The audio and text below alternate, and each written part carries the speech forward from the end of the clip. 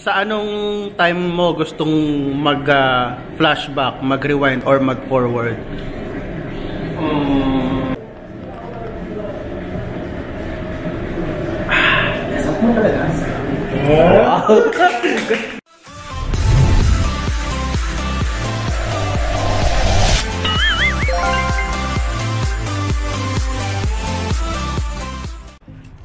So, nandito tayo sa lugar kung saan pag may birthday yan, nandun kami sa Chinese. And then after noon, nandito kami sa area na to kasi nandito yung mga coffee shop and then si Shahan. Pero unfortunately, gawa nga sa nangyari, ayan. At hindi pa rin pwedeng magkaroon ng sisya sa mga coffee shop. Nakasarado. And dito tayo sa Krispy Kreme.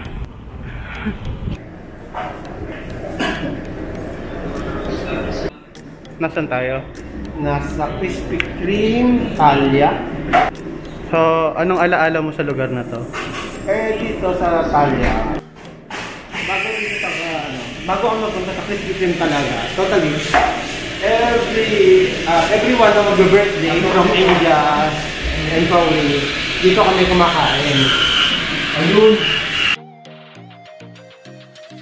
Pangalanan? Golden Palace Chinese Restaurant. Yan. Oh. Yan namin sineselebrate bawat birthday namin, guys. Ito namin ma-mind dyan sa Golden Palace na yan. Dito kami sa Krispy Kreme, Talia. Mm. So ngayon wala na.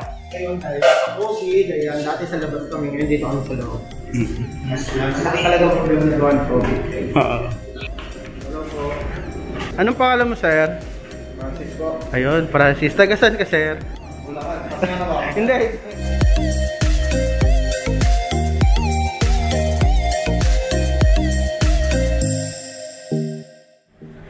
Wow, commercial model. Kung kukuhain ka ng Krispy Kreme, paano mo ibebenta yung Krispy Kreme commercial?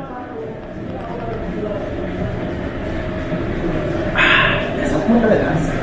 Wow! Mo yan? Gusto ko yun. Wala yung talent ko. Sino ba talent mo? Siya ba o ako? Siya na? Sa talent ko eh. Mga ito may pera na agad eh. Oo. May may may na. Hindi, manager naman daw kayo yung kukuhain commercial model. Hindi ko na ako, hindi ko na porte yan. Sige na, testing lang. Hindi ko na porte yan, man. Talent scout lang ako eh. Ito lang. Oh, isa pa raw, isa pa raw. Isa pang angulo, isa pang angulo. Dali, dapat kita yung Krispy Kreme. Ayan, oh. Kailangan. Ay, Eh, may kaulan. Naka-video na ba yan? malam ba? Eh, Wag muna. Ah, Krispy Kreme TVC series. Take two. Director.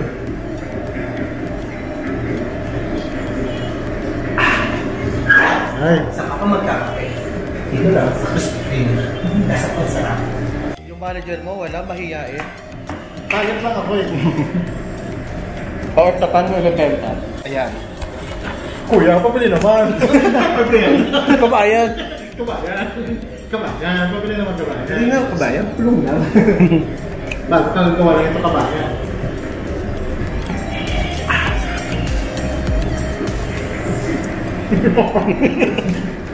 Ano naman sa...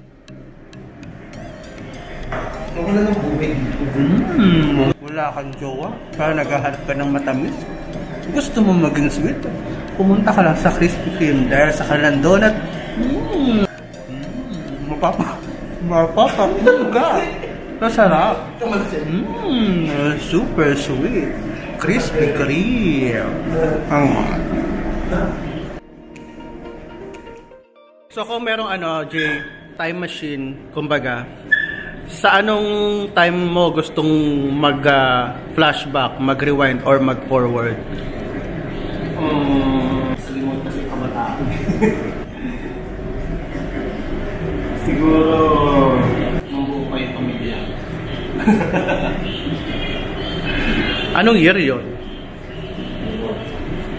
90, 2000, 2000, 2000, 2000. Siyempre, nakakamina yun.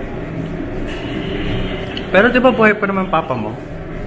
Kasi mga, yung iba pa rin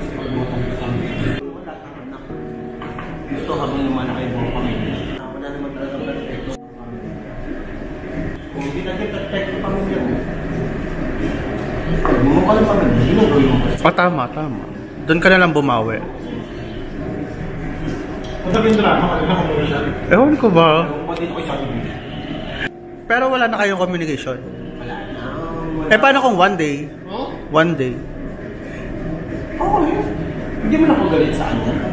Pero di ba sabi nga, ah, dumating man ang mga ganong pangyayari at the end of the day, yung uuwian mo pa rin yung original mo pag matanda ka. Dating mo darating yung time na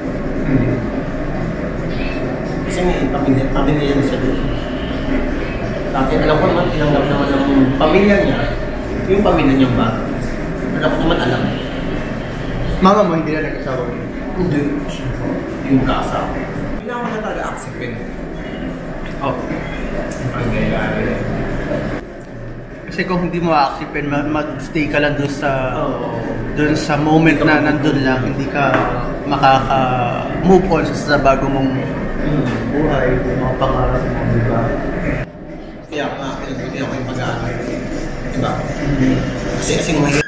Nilalaan kami ng pamilya na na kung saan kami pamilya. Alam mo na lang sa Oo. Talagang sinabi, ah, mga yan, hindi makatapos yan. Mhm. Wala mo alam sa buhay mga anak mo. Gusto ko lang kasi, um, mangyari sana, yung blessing na natatamo ko ngayon. So, pwede bang habang wala siya, ikaw na muna? sa amin na po Eh, muna. Sa mama ko naman, okay naman na. Eh, monthly naman, meron siya sa akin. Wala nag-upload ako, hindi pa naman ako nag-upload. Lagi may allowance sana ang mama. Pero ano naman mga kapatid ko, kung nasaan. No? Sabi na. Pero wala na talagang communication. Kami. Sila meron. Siguro yung mga kapatid ko. Kasi namamalengke yata sa palengke. Tapos doon daw banda. Sa lahat ng tao, may iba't iba tayong kwento wherein alam nyo somehow. Para makaka-relate ka. Kahit magkakaiba tayo ng pinagmulan, pero yung buhay natin may pagkakapareho. Di ba? Pag nakikita kami, tatanong ko. Baka kung kailang malaki, malalaki na kami. Saka pa siya umalis. Nagtatay mo ang tulo. Di ba? Wait, Hindi may makakapit dito sa labas. Oo, oh, di ako. Apat pa nga doon yata. Nakagawa ko ng apat. So baka nasa isip niya since na malalaki na kayo, parang na, na, na-provide niyo na yung... Pero sana inisip niya, may edad na rin siya. Di ba? Na dapat hindi na siya nagtatrabaho. Sisimpligin na lang. So kayo nagtatrabaho pa rin I siya? think so. Sabi na, invest pa ako. Oo nga. Kaya... 70 na si mama. 70 ba tanda na po Si mama, si mama 70 na. Siya 67. O bagets pa ha? Kung sino nakakilala sa aking daddy, sabihin niyo po, stay put na po siya dyan, ha? Just relax, enjoy. Anong pangalan niya? Basta sa... ko. Pinito niya, Soriano. Opo, Soriano. Alin, ito ka? Parang, sabi delete. parang hindi hindi ko po i-delete to. Sayang po yung effort. Hindi, yung iba. Ang, ang, ano pa yung mga nililook forward mo? Ano bang makita mo o mangyari?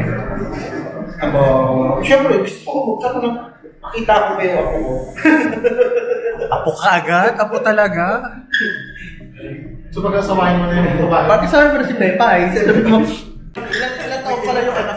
Gusto niya na po mag-asawa at magkaroon ng ha? So, ayan guys, hindi ko alam kung ano, kung anong pupuntahan ng vlog na to kasi ang gulo-gulo ng vlog na to. Hindi ko alam kung paano ko i-edit tong vlog na to kasi napakadaming pangyayari. So siguro, uh, putol-putulin na lang natin. A few moments later. So ayun guys, it's time for us Okay, to bye-bye na. And it's time for us to go home na and it's already 8.30 in the evening. So dito na matatapos yung vlog natin. Salamat kay Chef JJ, kay RJ, and uuwi na kami. And again guys, kung nagustuhan nyo itong vlog na to, please don't forget to subscribe and click the notification bell para lagi ka na updated sa manggalaan natin, kainan at kung ano pa dahil dyan, susutan natin ang ating face mask. And ciao ciao, bye bye! Bye bye Chef JJ! Okay, salamat. Kailan natin itutuloy yung ating ano? Sa susunod ulit, Bukas daw. Okay, bukas. biglaan lang. Sabi mo naman, bossing! Bossing, baka mo naman pwede na. Bossing, siya nga pala yung manager namin. Bossing, baka naman pwede pa advance, bossing. Advance mo naman, Ascot. Oo. First time ko lang makakatulog sa Ascot Hotel. Kung ayaw mo, pwede naman tayo mag no bottle muna. Tapos, Pwede naman matulog dyan, sa baba nga lang. Ayan. so ayan, kwento. Pa Bye bye, Jay.